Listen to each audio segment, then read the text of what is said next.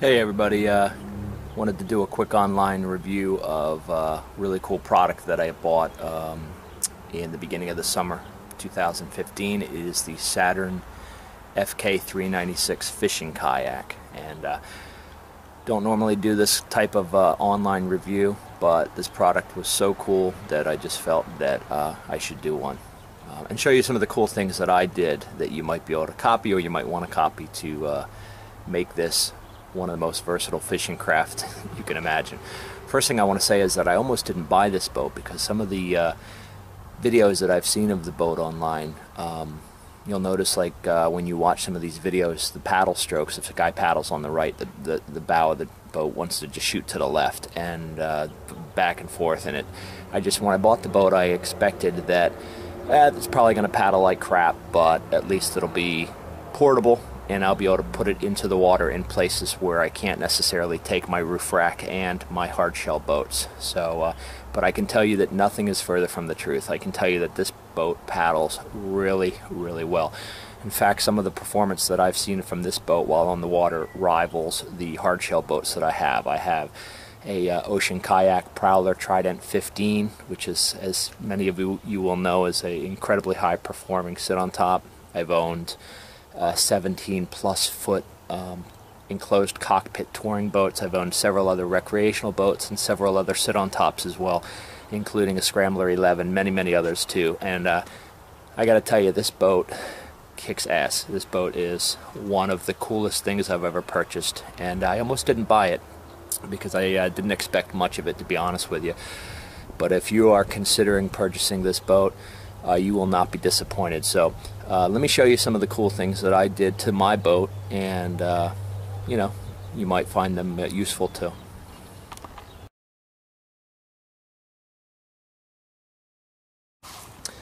Alright, here's the way I have my boat set up for fishing. You can see it is pretty, it's a pretty great setup. It's a sweet setup. Um, I've got a couple of extra things obviously. It comes with the aluminum benches uh, that you see underneath the seat there. I have these hard shell uh, high back fishing uh, seats from my aluminum boat that I have that I've put on there. And that thing it works really really great. And one of the other things that you're going to notice is the carpet that I put inside here which really makes the boat bomb proof I mean there is no way a hook is going to puncture this carpet now. It, it's just such a great setup and it was so easy for me to make this. Um, all I did was uh, went to Lowe's and get a piece of uh, outdoor carpeting and uh, I just took the inflatable floor before it was inflated and I laid it on top. I traced it, I cut it out, and it works beautifully. And you can see here I even have a little hatch that I made so that I can inflate or deflate the floor uh, with the carpet in place because of course you want to put the carpet in place before you inflate the floor. And when you do that, it makes a really rigid, hard floor. Uh, so you don't have to worry about, you know, if you have a large dog, you don't have to worry about the dog's claws puncturing the floor at all. You don't have to worry about your battery box being on the floor. You know, nothing is going to damage the floor. If you really, really wanted to get crazy and you really wanted to make the boat what I call bomb proof, you could actually take another layer of that carpet and put it underneath the inflatable floor. So you'd have the inflatable floor sandwiched between two pieces of that industrial carpet. That thing that way, if you hit a sharp rock uh, and you were somehow able to tear the uh, the black floor, uh, you you wouldn't puncture the inflated floor above it. So that would be really really cool. Uh, I might actually do that if I start taking it down rivers. Um, but here's another cool thing that I did is I made a motor mount. and this is very simple, obviously, but uh, I want to tell you something that I just learned by chance. I actually took two pieces of 3 8 inch plywood and I kind of fused them together. Um, and then what I did was I covered the entire thing with Gorilla Tape to make it waterproof. And it worked out beautifully because Gorilla Tape has this natural tacky feel and a surface to it. And when you lay it on top of one of these aluminum benches, let me tell you something, it just wants to grab and hold on to that aluminum bench. It's really it's really hard to slide it once it's on there because of the Gorilla Tape, the rubberized surface of that. Then all I did was I attached a couple of these straps. You can see here on the inside of the the PVC fabric uh, grooves, you know, that the bench sits into. And that thing is just really on there. It's not going to go anywhere. It's really, really attached nicely on there now. And then you can see I've just mounted my uh, trolling motor in a standard way here. And uh, this is um, not a very big trolling motor. It's a 36 pound thrust, but it will just move this boat really, really nicely.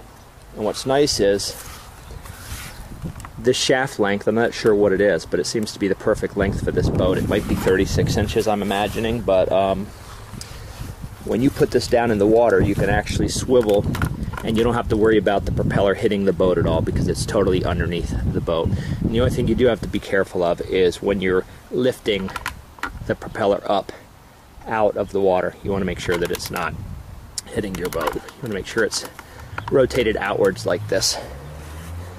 And make sure that the power's off before you do that as well. So you can see with the seats on there, you know, two people can fish in this boat very, very comfortably. And it is just so versatile. You know, the boat really, really moves well. So if you uh, are looking for a fishing boat that is very lightweight, easy to transport, easy to store, I really think you should check out this boat.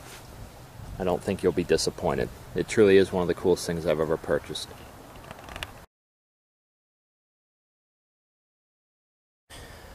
Hey guys, the first thing I want to do is talk about uh, how the boat comes. You know, the boat will come in a uh, cardboard box. It's all shrink wrapped uh, inside. Um, everything's packaged very professionally. Um, does come with this storage bag for carrying the boat and storing it. All fits nicely in there with room to spare. Um, my boat came with one fin for directional stability. Some of the videos that you'll see on YouTube uh, show that the boat has like uh, four fins, you know, four little fins on the bottom as well. Mine didn't come with that. Um, I was a little concerned about that at first, but the boat handles beautifully with just the one fin. No complaints about that. the fin is going to get chewed up a little bit on rocks. That's just uh, the nature of the beast. I take uh, a little bit of fine sandpaper and sand the edges after it's used so it doesn't scratch or tear anything uh, in the bag or anything like that. So, no problem there. Uh, talk about how I inflate the boat. Here's the great thing I have this little battery jumper uh, box which has also uh, outlets on the front. You can see I have a little uh, air pump that I use for like inflatable mattresses and I have a, an extra tube. Um, works great. Gets the boat pumped up to about 90% um, in just a few minutes. And then I use my high pressure hand pump that came with the boat to finish it off. And it gets really, really rock solid. It's a great boat. Um, you can see I have a paddle on the side here. Um, I have one of my high back seats from my uh, Ocean Kayak Prowler that I use in the boat. And underneath of it, I put a uh, an inflated uh, cushion for extra uh, inflation, or not inflation. I'm sorry, um, buoyancy. You know, personal flotation. Um, it also makes it very comfortable and makes you sit a little bit higher in the boat, so it's a little easier to paddle. The boat is a little beamy compared to uh, a hard shell boat, especially a touring boat. As you can see, that's you know just the way it is. Um, if I had any criticisms on the boat at all, it would be that these paddle holders that hold the paddle, you can see they're Velcro straps. Um, a lot of times when you first start paddling the boat, your hand tends to want to hit those while you're paddling. But it's pretty easy to learn how to change your stroke slightly uh, and to avoid that. So I wouldn't say even at this point uh, that it's even a, a criticism. Uh, it is great to be able to put a paddle uh, stored on each side of the boat so you have an extra. Uh, you might want to, if you're going to paddle this boat a lot, you might want to get a slightly longer paddle. That is one thing because of the diameter of the tubes and the boat being a little beamy. If you try to use a very small paddle on this boat, it's not going to work out as well. The really great thing about this boat is that it can be paddled solo, or as you can see here, I have it set up for uh, tandem paddling. So uh, it's very, very easy to uh, use this boat by two people or just paddle it solo. Um, and the boat really does paddle nice. Um, you know, I'm no expert, but I have to assume, you know, with hard shell boats, uh, even though they draft in shallow water, um, you do have the keel line down in the water. Um, I have to assume this boat paddles so easily because of how buoyant it is, and it just seems to skim right across the top of the water. It's just really, really a, a nice performing boat. Never expected it to paddle as nicely as it does. It tracks really straight too. Um, after your first couple of paddle strokes, you'll you'll find that you're going in a nice straight line. Tends to want to stay really on course really nicely.